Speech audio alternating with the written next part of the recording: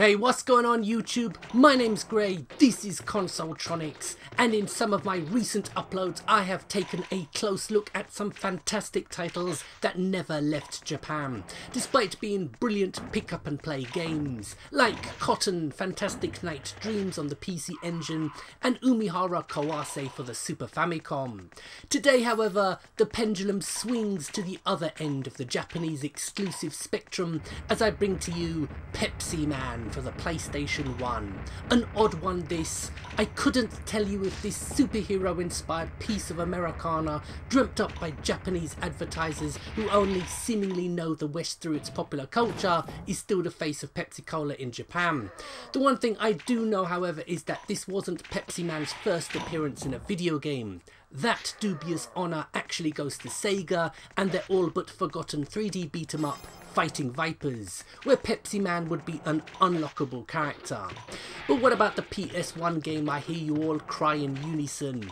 Well, it's an on-rails running and collect 'em up, which is like a precursor to the explosion of similar games that would be released in droves for the mobile market following the success of Temple Run.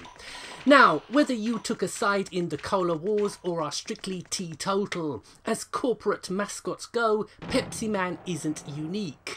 In the West, Cool Spot was a popular platform game for 8 and 16-bit platforms and has gained a cult following in recent years, despite being based off the red circle in the 7-Up logo. And in Japan, there was another superhero named Yakisoban who promoted instant noodles and proved so popular with local audiences, he got not one, but two Super Famicom scrolling beat 'em ups. I swear I'm not making this up. But back to the subject at hand, which ultimately comes down to is the game good or not? Well, yes, incredibly, it is. Despite being nothing more than a playable product placement for flavoured sugar water, it is an excellent, fast-paced and at times exhilarating short burst kind of game.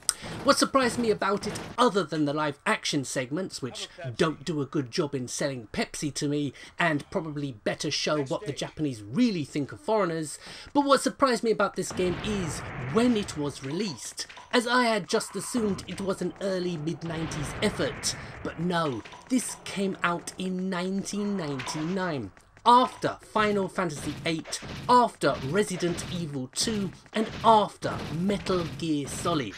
I don't know if this was the tie into some sort of promotion in Japan, or whether these kinds of novelty games just always sell well in the land of the rising sun, despite the competition. Overall, if you're looking for something a little different, a little unique, I would definitely suggest you give Pepsi Man a blast. It's better than you would expect, and it's completely in English, so there is no language barrier to hinder your enjoyment. So my name's Gray, this has been a quick little video to tide you guys over while I'm working on bigger projects, which hopefully you'll see soon. I started a new job recently and I'm waiting for everything to settle down so I can get some free time to make my videos. But if you all miss me that much, then check out my second channel, Video Holocaust, where I review action movies, anime and all sorts of cult cinema just click the links on screen. So more videos up hopefully very soon. So thank you very much for watching and goodbye.